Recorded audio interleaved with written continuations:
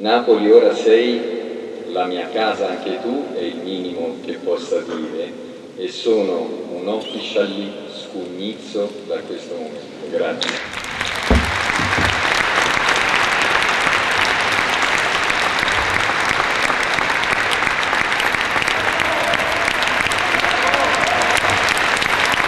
Luciano Spalletti, allenatore del terzo scudetto del Napoli, ha ricevuto dal sindaco Gaetano Manfredi la cittadinanza onoraria napoletana nella sala dei baroni del maschio angioino, strapiena per l'occasione.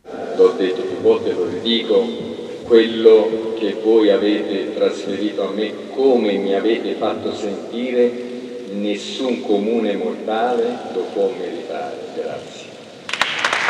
È un amore viscerale tra il, questa città, i suoi cittadini e la squadra, ma l'avventura che abbiamo vissuto eh, quest'anno è stata una straordinaria occasione per ricordare al mondo che Napoli è una città vincente. Alla cerimonia è intervenuto anche il presidente del Calcio Napoli, Aurelio De Laurentiis, che ha improvvisato con Spalletti un vivace scambio di battute.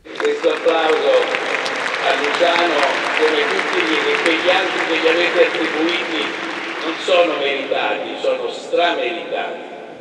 L'unica cosa è che adesso tu ti sei entregato con le tue stesse mani, perché accettando questa cittadinanza ed essendosi legato non solo alla città di Napoli ma al Napoli, ogni volta che noi avremo bisogno di una consulenza di come fare, cosa fare, lui non si potrà mica sottrarre, quindi diventerà un permanente consultant e aiuto indelebile assoluto per tutti quanti noi e per tutti lui l'ha dedicata anche ai tifosi, giustamente i tifosi vanno sempre messi al primo posto, quindi ormai non potrà più tradirci.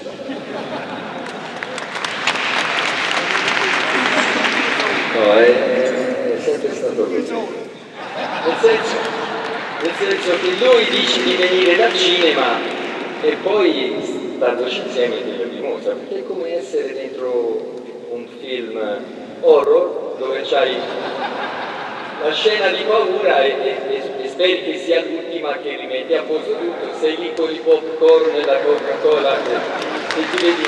L'ultima scena, no, è, è, finita, ora si sta partendo il pop, mi arriva addosso e io esci non so, come ora pensavo invece mi ha ricaricato, grazie Presidente.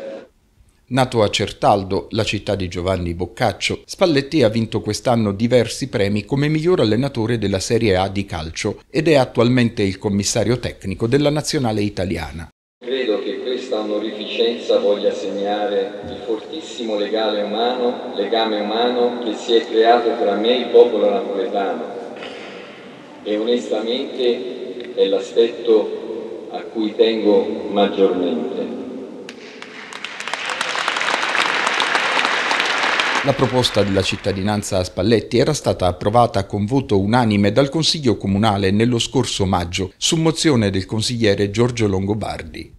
È stata un'idea che avevo pensato diversi giorni prima dell'ultima partita contro l'Udinese. Oltre ad avere il merito di aver riunito una città intera per la felicità di una vittoria, ci ha riuniti anche tutti all'interno del Consiglio Comunale un grande allenatore, un grande uomo, meritava di essere cittadino napoletano. Io sono una poca avvezza agli abbracci, ma gli ho chiesto di abbracciarlo. È stata un'emozione bellissima rivederlo qui tra di noi e oggi, come ha detto lui, sono uno scugnizzo napoletano. Io dico sempre sono un consigliere, ma uno scugnizzo napoletano sempre. Potremmo dire che da oggi in poi Spalletti è veramente napoletano perché gliel'abbiamo riconosciuto anche anagraficamente, coram populo, tutto il Consiglio Comunale, interpretando appunto il, i cittadini napoletani. Quindi forza Napoli e e, e bissiamo con un altro scudetto. Ci ha fatto vivere un'emozione eh, fortissima dopo 33 anni, ha riportato lo scudetto a Napoli e soprattutto ha dato un esempio eh, di squadra composta di